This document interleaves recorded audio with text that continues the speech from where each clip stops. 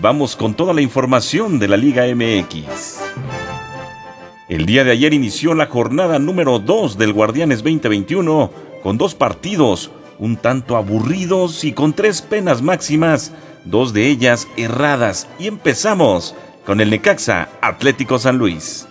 El Necaxa consigue su primera victoria del torneo en un partido muy accidentado celebrado la noche de ayer dentro de la segunda jornada del Guardianes 2021 en la cancha del Estadio Victoria. Necaxa sumó su primer triunfo del torneo y así alargó su racha a tres victorias como locales, además de dos victorias sobre el Atlético San Luis en las cuatro veces que se han visto las caras. Para el 87 se marcó la pena máxima a favor de los Rayos por una falta de Damián Battaglini sobre Alejandro Andrade Dos minutos después, Gian González hizo la anotación desde los 11 pasos con disparo potente y cruzado al lado izquierdo del arco, que no logró alcanzar el portero de San Luis para el 1 por 0. Cuando se creía que los rayos se llevarían el triunfo, al 94 el árbitro central Diego Montaño marcó también penal a favor del Atlético San Luis, luego de revisar el bar por una mano de Mario de Luna en el área, en una disputa con Damián Batallini, lo que le dio a San Luis la oportunidad de empatar el marcador. Sin embargo,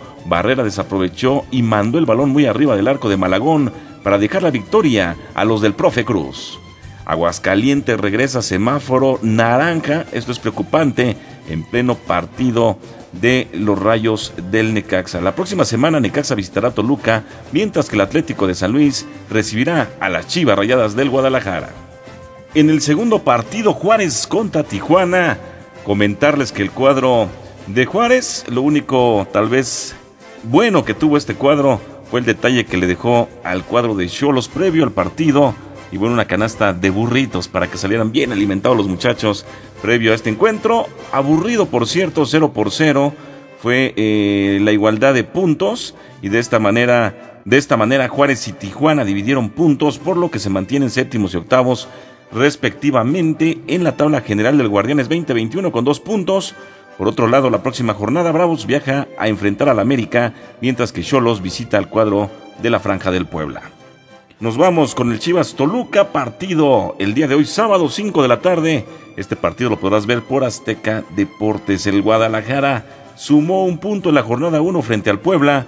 Los Diablos Rojos ganaron en casa en contra de los Gallos Blancos en el regreso de Hernán Cristante al banquillo choricero, un exjugador emblemático del Toluca, descartado José Juan Macías por segunda ocasión. Recordemos que en la jornada 1 también estuvo fuera por dar positivo a COVID-19. En esta segunda jornada los resultados prácticamente no llegaron a tiempo, así que queda fuera también de la jornada número número 2. Nos vamos Cruz Azul Puebla, partido del día de hoy, 7 de la noche, partido que podrás disfrutar a través de TUDN Deportes. Y bueno, la máquina perdió su primer partido del torneo por la mínima diferencia en su visita ante Santos Laguna en el territorio Santos Modelo, pero bueno, hay buenas noticias para el cuadro celeste. Tiene plantel completo para este encuentro y ya no hay futbolistas contagiados por el tema de COVID-19. Tampoco hay lesionados y solo falta que habiliten ante la Federación Mexicana de Fútbol a Guillermo Fernández, a Walter Montoya o Brian Angulo. El Puebla ayer confirmó la Franca un nuevo refuerzo para este Guardianes, el brasileño Gustavo Ferraréis y así que el técnico argentino Nicolás Larcamón busca establecer realmente un esquema de juego y conocer el fútbol mexicano, además de querer convertir al pueblo en un rival bastante incómodo. Vámonos con el Rayados América, este partido, 9 de la noche con 6 minutos el día de hoy a través de Fox Sport. Este es el duelo más llamativo por lo que se vivirá en el banquillo. Javier Aguirre tendrá su primer compromiso de local al frente de Monterrey, mientras que Santiago Solari vivirá su primer partido dirigiendo al América, ya que en la primera jornada no pudo estar con su equipo debido a problemas con la visa de trabajo. Llega la primera baja para el América. Santiago Solari no contará con el refuerzo del América Pedro Aquino y este jugador se perderá el partido contra los Rayados de cara a la jornada número 2. Mientras tanto, Monterrey, además de Vicen Janssen de Rayados, tendrá otra baja para enfrentar, que se trata del central Estefan Medina, que también se ha ausentado en las últimas prácticas por ser sospechosa COVID-19. Nos vamos, Pumas Mazatlán, domingo 17 eh, de enero, 12 del día, a través de TUDN Deportes y este equipo universitario viene de igualar sin goles con Tijuana en el comienzo del Guardianes 2021 y quedó en el puesto número 11. Andrés Ligini dijo haber quedado conforme con el plantel en el Estadio Caliente. Por su parte, Mazatlán derrotó 3 por 2 al Necax en un partidazo con los goles de Fernando Aristigueta, Carlos Vargas y Camilo Zambés. El último encuentro entre ambos se disputó en el Kraken por el torneo Guardianes 2020, donde Mazatlán y Pumas terminaron empatados a cero tantos. Santos contra Tigres, partido domingo 17 de enero, 7 de la noche.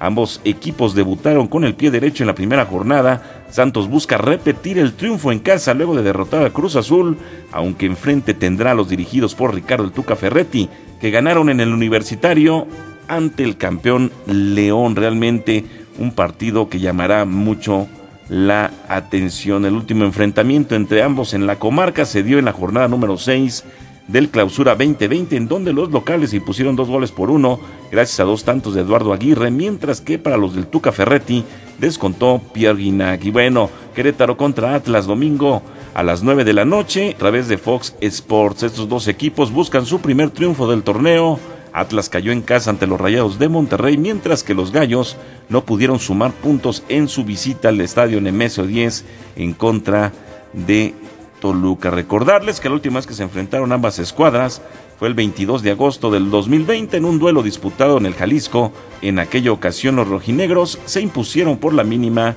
diferencia. Y cerrando esta jornada, León contra Pachuca, este partido lunes 18 de enero, 21 horas el campeón quiere su primera victoria del torneo en su primer partido en casa del 2021. En noticias relacionadas con el campeón del fútbol mexicano, informarles que Jesús Martínez, presidente del Club León, ha reconocido que gestiona una extensión de contrato con Nacho Ambriz, estratega que logró el campeonato en el Guardianes 2020. Escuche usted los números. Seis torneos ha dirigido Ambriz al Club León, un título ha conseguido en el Guardianes 2020, 12 victorias consecutivas tiene como mejor racha, 41 puntos logró en el clausura 2019, récord de puntos en un torneo de 17 jornadas. También se especulaba que pedirían a Nacho González, este jugador emblemático de León, que no se retirara en el pasado torneo. Se decía tratarían de convencerlo para que estuviera seis meses más.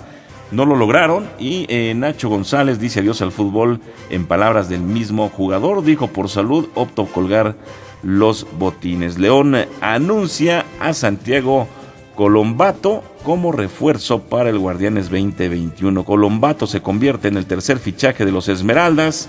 Para este próximo torneo se suma las incorporaciones de Víctor Dávila y Rubén Eloso González. Y con esto terminamos con la información del fútbol correspondiente a la jornada número 2. A ver cómo le van a mis poderosísimas águilas del América en esta jornada, informó tu amigo Noel Domínguez.